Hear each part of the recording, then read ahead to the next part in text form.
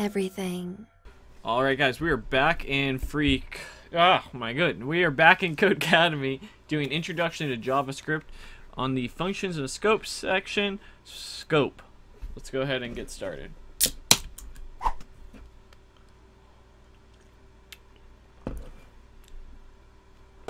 Now, what is scope?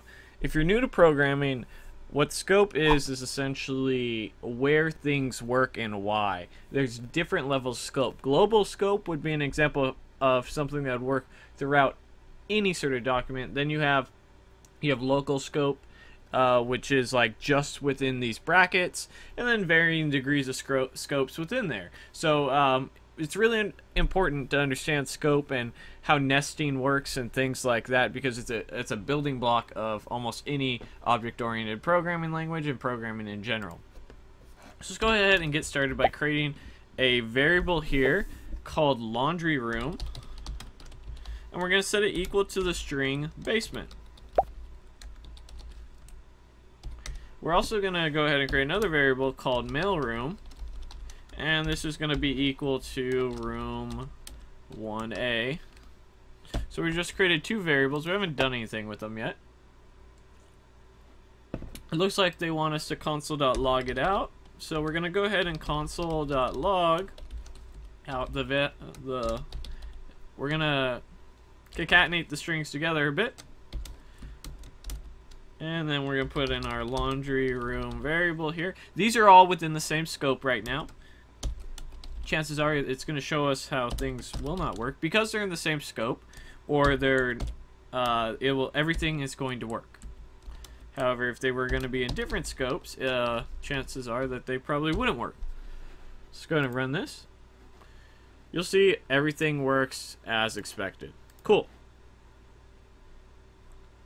Now we're going to go ahead and write a function before the console.log from last exercise. Alright, so we're going to create a function. And in this function, we're going to have, we're to name it my, my apartment. And then, let's go ahead and run this. Inside the function, we are going to write a variable. So we're to create a, a local variable. Now, this variable is only used within the scope of the my apartment function. So that's that's what we're going to be looking at here. It's we're going to call this mailbox number, and we're going to go ahead and set it equal to the string box 3. And also, if you're lucky enough to have an in-unit laundry, we can go ahead and set laundry room to in-unit thing. So because laundry room is in our uh, outside of this scope, we we are able to use it within. So uh, the way scope works is outside variables you can use within uh, certain scopes or in nested scopes. Now, when you go outside those scopes, say you have local variables, you can't then send those outside. So outside can come in, but inside can't come out is basically the easiest way to do it. So because we already have laundry room defined in our global scope or our outside scope, we're going to go ahead and just reset the value when this function is called. And you'll be doing this quite a lot when resetting uh, variables and things like that. So inside the function, we want to go ahead and console, just to save time, I'm going to go ahead and um, copy pasta this in here.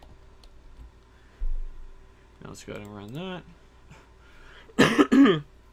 now let's try to see the mailbox outside the function. So, um, let's go ahead and get rid of, I think I want us to get rid of this.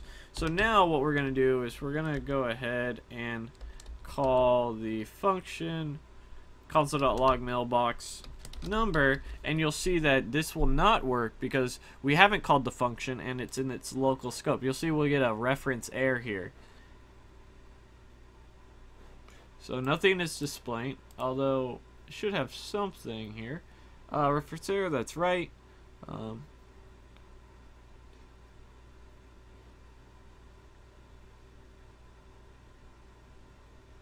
So if we want to get the console.log, what we can do here is just call the my apartment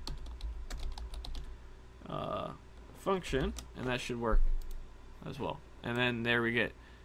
You'll notice that uh, we have the undefined now that's being displayed.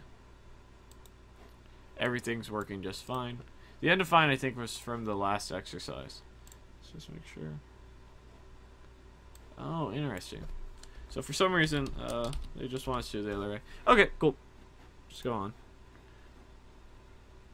Write the my apartment function and move the variables with the apartment building information in the global scope so that line 20 can run. So we can go ahead and just cut all this out because these are local variables we want to make this